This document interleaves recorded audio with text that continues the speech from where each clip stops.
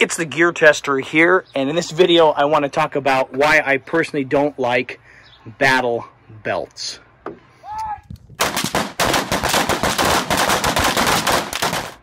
One little point I want to make here at the beginning of this video is we live in an age and a time, in the United States at least, where for about $2,500 you can get a lot of equipment and look like a Special Forces operator or SWAT team member or something like that. And just because you can purchase the gear and equipment doesn't mean that you have the skill set, the ability, or the backup to actually make uh, actually take care of problems. And so what I, what I fear is happening is that people are basically purchasing suits of armor and whatever kind of camouflage they like, and then feeling like because they look in the mirror and they look like a special forces operator, they've got that skill set and that ability. And I actually think that in many circumstances, if if you actually are planning on wearing and using some of these items in an actual self-defense situation, that you'd be better off blending in and looking more like a normal human being rather than being clad in just a whole bunch of multi-cam and having a bunch of gear that's pushed off from your sides, your holsters, your mag things pushed off rather than having them maybe in cargo pockets or just having them in a simple bag, having some backup uh, equipment in a bag like this and blending into your surroundings more looking like a regular civilian, which is actually what most, if not all of us, are. So this is a Viking Tactics Brokos belt, and inside of it I've got a uh, first Spear Assaulter's gun belt. And I think this is a great setup. So if you're looking for a battle belt, I think this is a great way to go. It's an older style of setup. A lot of belts are going with an inner Velcro belt and with that, which has the hook on it, and then a smaller, thinner outer belt that has the loop Velcro on it, and you slap that on, and that's not going to move on you so much. This does move up and down. Uh, what I've noticed is whether or not people are going with kind of an, a large padded kind of kidney belt like this that can ride up and down a little bit, or those inner and outer belts that Velcro together, or some form of keepers, that a lot of people are still using a, a drop leg or some kind of a extended Safariland holster with a thigh strap. And that means that you, you're getting the holster off your body, further away from, further off, okay, this direction from your body, which means it's easier to draw the holster and, and operate quickly, but it also means that you're giving up concealability and you're just bumping gear and equipment further and further and further off your body so you're getting wider and wider and wider. I recently went shooting with a couple young gentlemen that had all the rad, cool, new equipment, and I was clearly the old guy in that group. And one of them was carrying uh, their most of their equipment inside the waistband and then threw on a chest rig. Uh, we all had chest rigs on. The other guy threw on a battle belt and a chest rig, and I noticed that the moment we were done shooting, he took his battle belt off. And maybe he had an inside the waistband holster, I'm not sure. But I noticed he took this whole system off. And so I do think I do think that a battle belt does have some good applications. So I just think we need to be realistic about our expectations and how we intend to employ gear and equipment. And if you have the right expectations and you allow those expectations and uh, demands to drive what you use, then you end up being happy with your gear and equipment. And so I'm not as happy with this because somehow in my mind, I imagine this being more concealable than it actually is. And so that's why I'm a little dissatisfied with this uh, system.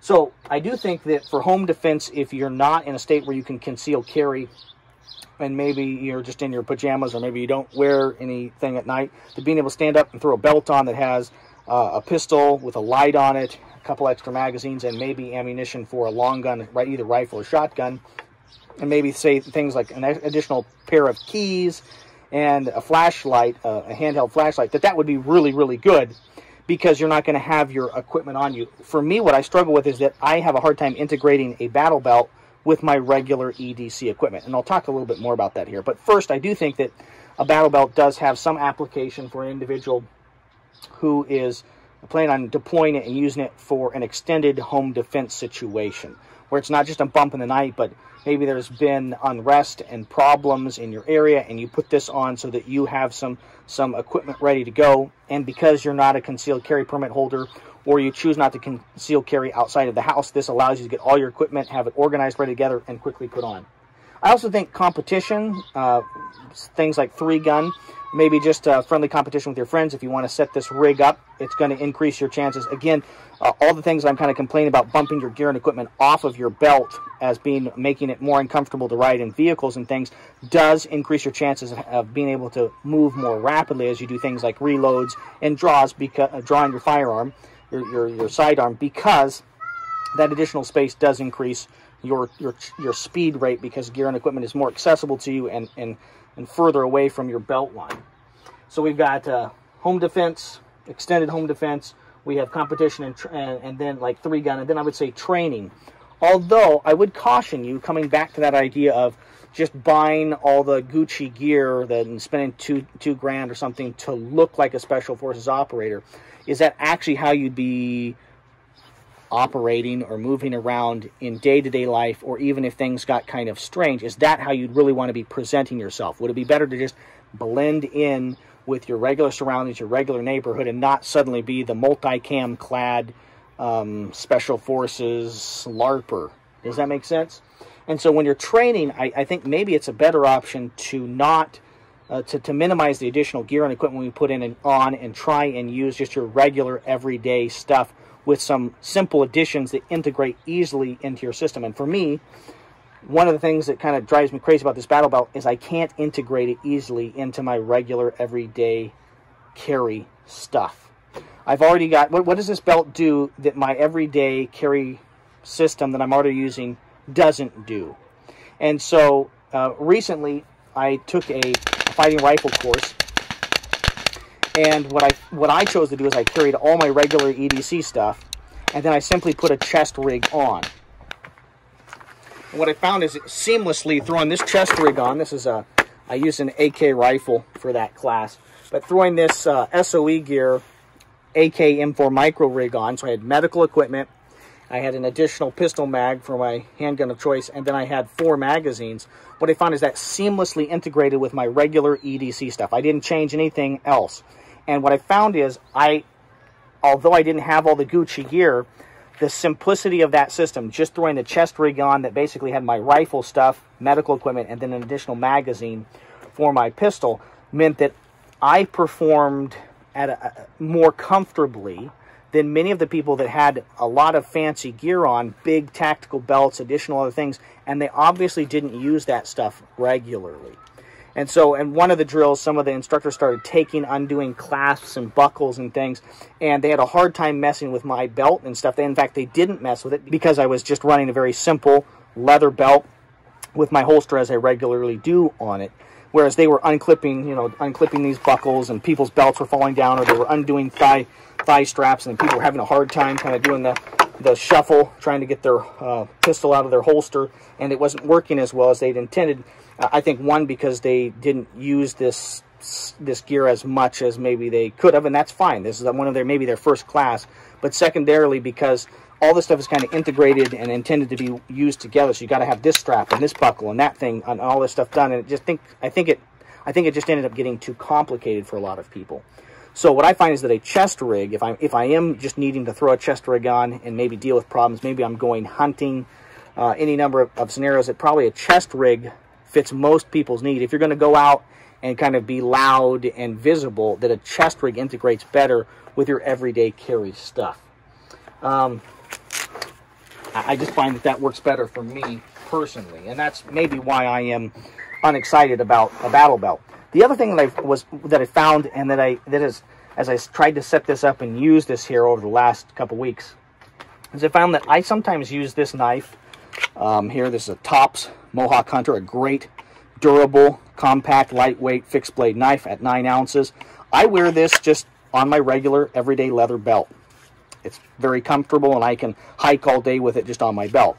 So if I put this, I already generally have a pistol on me. I already have a mag or a couple of backup mags. And if I've already got this on my belt, then really, if I have cargo pants on, I could just drop a couple rifle mags into my pockets, and I look basically like I do every day. I look like a normal person.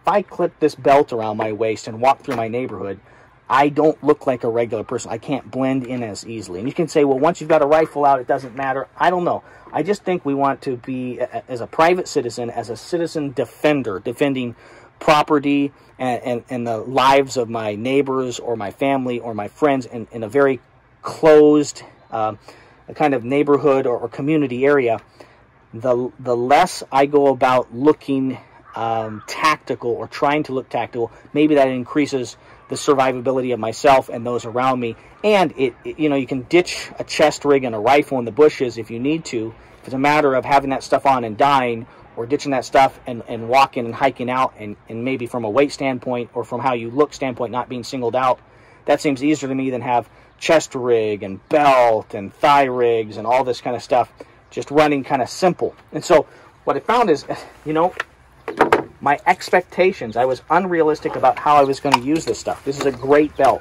It is got the breathable mesh in it from Viking Tactics, okay? It's well designed. I like the First Spear um, uh, Gunfighter's belt, First Spear Assaulter's gun belt. And if you want to see a system or a setup very similar to this that's been used a lot, you could go over to Kit Badger's uh, YouTube channel, and I'll put a link to his video where he talks about individual components that he has on his Viking Tactics battle belt. And he's been a, a private military contractor, and he's used it a whole bunch. And I think for that application, it works great. But for my application as a citizen, uh, operating in my neighborhood, around my friends and family, I just find that a chest rig is a simpler option. Uh, it's maybe more concealable. A number of different companies now are coming out with simpler kind of almost like a cummerbund with some shoulder straps that, that are more concealable and that would allow you to be armed, have some additional magazines or radio, medical equipment on you, and maybe not be as visible.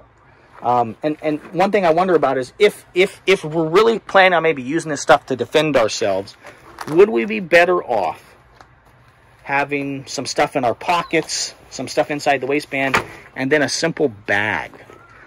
Are we spending thousands of dollars on tactical nylon because we're following this dream of, of kind of a knight in shining armor, a, a modern version of that. When really we'd be better off with just a simple pack like this old school CamelBak with some mags, some water, um, and Hearing Pro in it, and and we don't look scary. And and if you if you don't look intimidating, maybe you don't get into a fight.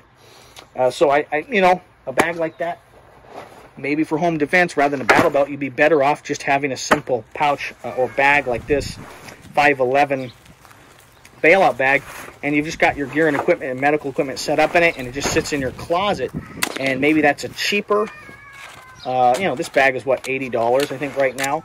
Maybe that's a cheaper simpler option than uh, spending $150 for the Brokos belt the outer part or this, this kind of it's as, as strong and kind of durable as like a kidney belt for weightlifting.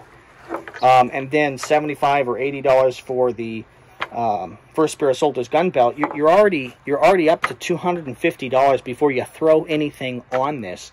And once you get stuff woven into the MOLLE and set up i don't think you're going to want to take it off very much. And i just wonder are there better options for the citizen defender? For the man or woman that's wanting to have a few additional items, extra mags, some medical equipment, maybe a, a fixed blade knife, are there better options for the citizen defender than a big chunky battle belt? And I think the answer to that is yes. So maybe you want to save your money. Now, maybe you love your battle belt and you use it for training or you use it for competition or you've already got it set up just the way you want it and it's hanging in your closet right now and for, for home defense. And if that's the case, excellent decision. And if it works for you, that's really what's important. But for me, in my application, I find that I can't go shooting with my friends out in, in the woods and then uh, drive in the town and, and pop into the gas station and feel comfortable walking around with this thing on my belt. But if I've got an outside the waistband holder with a shirt tucked over it, it's not a problem at all. I do think that there is a situation for the citizen defender where individuals, we've seen this last year, who have had to defend their place of business, and maybe they live upstairs or in a little apartment connected to their place of business, rather than be ruined financially, have decided there's a number of members in the Asian community, and there's a history of this from the 80s till the present time, where members of the Asian community have been forced to band together to arm up and as a, a sub minority defend their property and their lives from immediate violence. And in that case, it might be better to have a, a more overt presence, to have your weapons and equipment very visible and make a show of force. And in that case, maybe a show of force means that there is no fighting that day because people see that you're prepared and that you're willing to fight.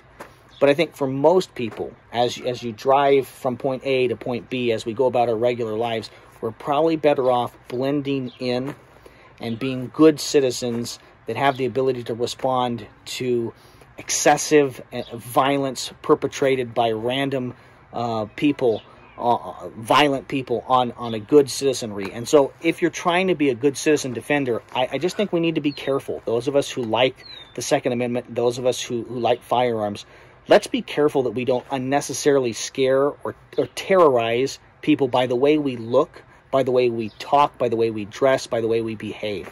Let's be good citizens. And maybe having an inside the waistband handgun and a little bag like this to have additional equipment and gear with you, maybe that's the best option rather than trying to flaunt your power and your strength. You win 100% of the gunfights you don't engage in you win 100% of the gunfights you don't engage in. So there, there's some of my thoughts on battle belts. Um, let me know what you guys think down below. I'm interested if you really love battle belts and you have a very simple, uh, compact battle belt system that is more concealable. I'd really like you to leave a comment down below, and I'd, I'd prefer that you made a video and left a link in the comments down below and kind of showed that off. So thank you guys very much for your views and your subscriptions.